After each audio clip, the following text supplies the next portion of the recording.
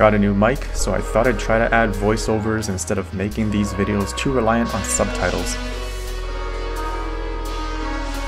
This week, I wanted to do a short review on something I tried recently, which is using the rotberry seed to craft rotberry darts, instead of turning it in for a wand reward.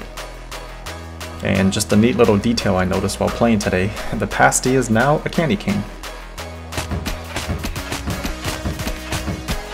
Okay, back to my experiment. So, let's get the seed from the shrub, tip the darts as you normally would, and voila, you get two darts with 5 durability each.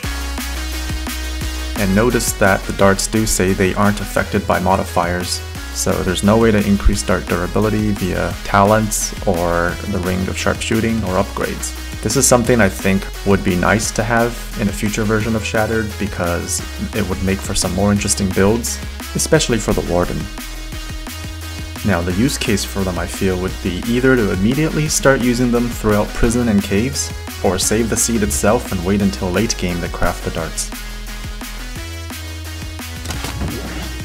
I tried it out on a few grunts, and they do absolutely melt normal enemies.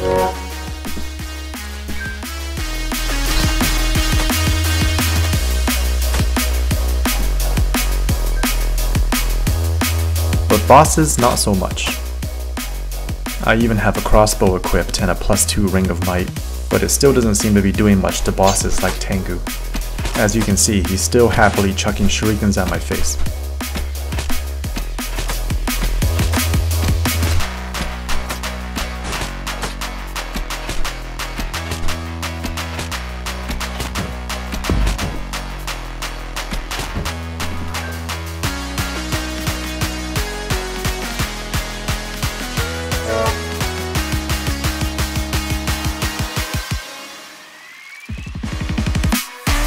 It's a trade-off between picking a wand or killing 10 enemies, so about a floor or a floor and a half's worth, unless you save them to be more situational. It also means you're taking up two tip dart slots, so these are darts that could have been used to craft paralytic or incendiary or poison darts instead.